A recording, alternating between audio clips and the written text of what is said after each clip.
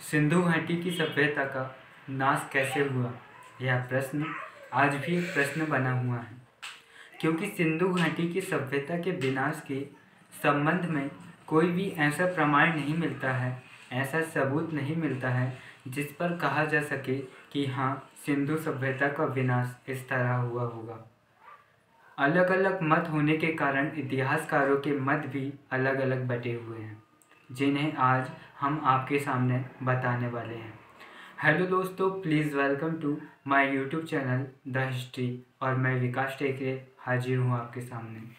तो दोस्तों, सिंधु सभ्यता का विनाश कैसे हुआ, इस पर हम आपको चार से पाँच ऐसे मुख्य तथ्य बताएँगे, जिन पर इतिहासकारों ने कहा है अलग अलग इतिहासकारों ने, कि इस आधार पर सिंधु सभ्यता का विनाश हो सकता है। जिसमें आता है बाहरी आक्रमण।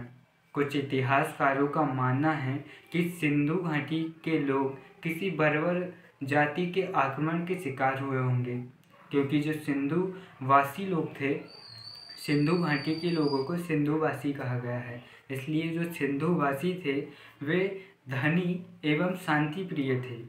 शांति प्रिय थे इसलिए उनके पास हथियार और युद्ध से संबंधित कोई प्रबंध नहीं था।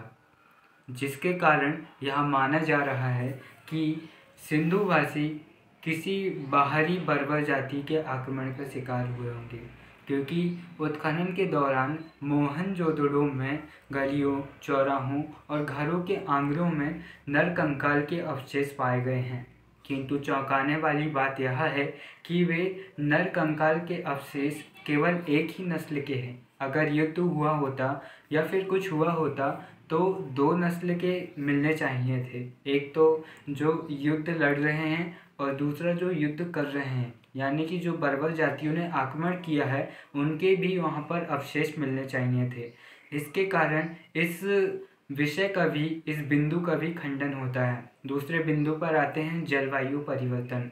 कुछ विद्वानों का मानना है कि जब एक ही जाति के वहाँ पर नरकंकाल मिले हैं तो इसका यह मतलब हो सकता है कि वहाँ पर जलवायु परिवर्तन सूखा या बाढ़ आया होगा। सूखा या फिर ऐसा अकाल आया होगा जिसके कारण सभी लोग मरने लगे, और इसे जलवायु परिवर्तन कहा गया। लेकिन इससे सभी इतिहासकार सहमत नहीं हैं। कुछ इतिहासकारों ने इसके अपोजिट एक विषय को रखा है, वह है बाढ़ बाढ़ इसलिए क्योंकि मोहनजोदड़ो में, जो सिंधु सभ्यता के एक प्रसिद्ध नगर है मोहनजोदड़ो में 21 सेंटीमीटर तक रेत मिली है। यानी कि लगभग दो दो तीन फीट तक, माफ़ कीजिएगा 21 फीट तक रेत मिली है, जिससे यह प्रमाण प्रमाण लगाया जाता है कि यहाँ पर बाढ़ आई होगी, जिसके कारण लोगों की मृत्यु हुई। लेकिन अनेक इतिहासकार इस बात का भी खंडन करते हैं।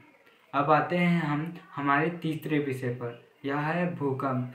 दोस्तों, एक महत्वपूर्ण प्रश्न है जो हमेशा जीके में पूछा जाता है कि मृतकों का टीला मोहनजोदड़ो के सिंधु सभ्यता के किस नगर को कहा जाता है? तो वो है मोहनजोदाड़ो क्योंकि मोहन मोहनजोदाड़ो के विषय में कहा जाता है कि मोहनजोदड़ो सात बार बना और सात बार टूटा, क्योंकि उत्खनन के दौरान यहाँ पर सात तहें मिली है। इसका मतलब मोहन मोहनजोदड़ो का विकास सात बार हुआ होगा और सात बार यह ढह गया, या भूकंप के द्वारा संभव है।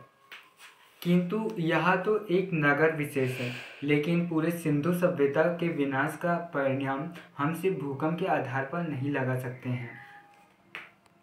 थ्री दोस्तों, इसी तरह पाँचवें नंबर पर आता है अकाल या महामारी, जिसका हमने आपको जलवायु परिवर्तन में भी बताया है। लेकिन हम एक बात और इसका बता देते हैं। महामारी से मतलब है कि एक महामारी फैली और लोग उसमें लिप्त होकर, जिस प्रकार अभी कोरोना महामारी चल रही है, उस प्रकार एक महामारी आई और उसने अपने संपर्क में वहाँ के लोगों को लिया, जिसके कारण पूरा सिंधु साम्राज्य तबाह हो गया। लेकिन इतिहासकार इससे इससे भी सहमत नहीं है, क्योंकि अगर कोई व्यक्ति महामारी से मरता तो पता लगाया जा सकता था, क्योंकि पूरी सिंधु सभ्यता ऐसे नाश न होती। इस तरह पूरे इतिहासकार किसी एक बिंदु पर सहमत नहीं है। इसमें अलग अलग बिंदु हमें नज़र आते हैं। अंत में दोस्तों, इतना ही कहना चाहूँगा कि हम इतिहास को भूल सकते हैं, लेकिन हम कभी इतिहास से अलग नहीं हो सकते। वीडियो देखने के लिए धन्यवाद। जय हिंद।